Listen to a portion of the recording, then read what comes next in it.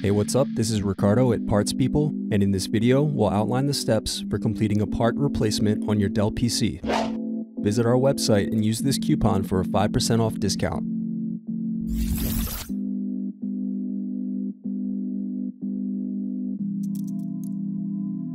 Unscrew and remove bottom base.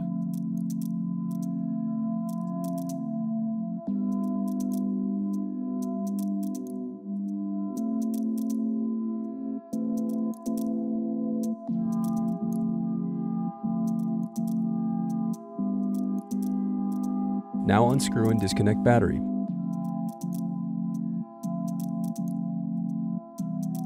Now unscrew and remove bracket.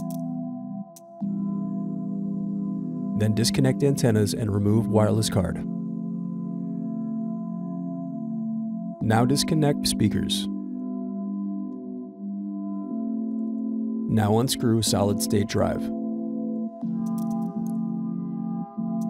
Now unscrew solid state bracket.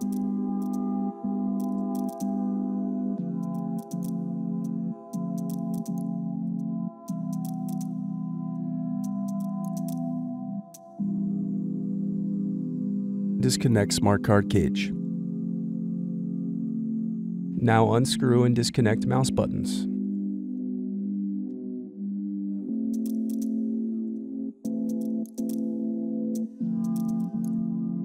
Thanks for watching. Don't forget to like and subscribe if you enjoyed this video. And if you need more, check out this playlist to watch other tutorials for your laptop.